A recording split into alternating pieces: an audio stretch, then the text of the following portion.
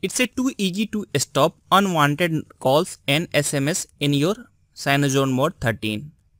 So currently I am running on the Cyanogen mode 13. It's a Mars Android Marshmallow 6.01. So if you tap on the about phone, so you will find my version is Cyanogen, uh, mod version 13 and it's a Android version 6.01 and it's installed on my and OnePlus 2 and Android phone. So now to access the block numbers tap on the privacy and now tap on the blocked caller list, op caller list option. And then after you need to be enable this one. And then after tap on the plus icon to add your numbers. So whatever number that you want to use you just either you can use the manual entry or either you can select from the your contact list.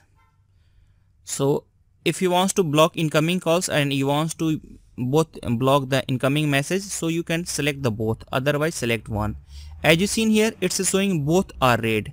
So if you want to use the contact so just tap on the contact icon and select your contact whatever uh, name that is there. Just select the person name uh, person contact name and it will be blocked.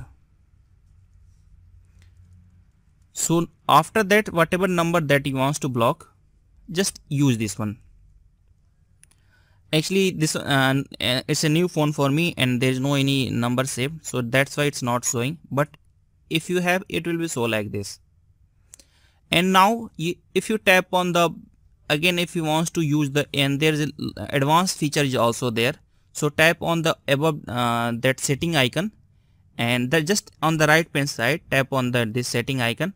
And here you have option to block from the all the calls from the private numbers.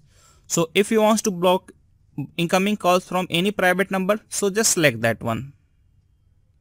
And tap on the ok.